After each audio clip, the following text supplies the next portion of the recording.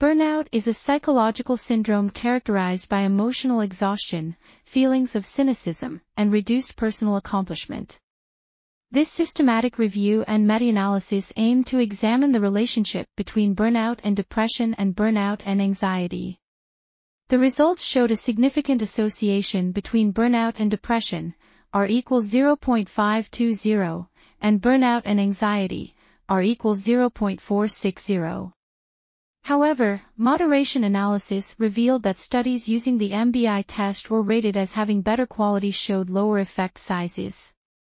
The findings suggest that burnout and depression and burnout and anxiety are different constructs, and future studies should focus on longitudinal designs to assess causal relationships between these variables.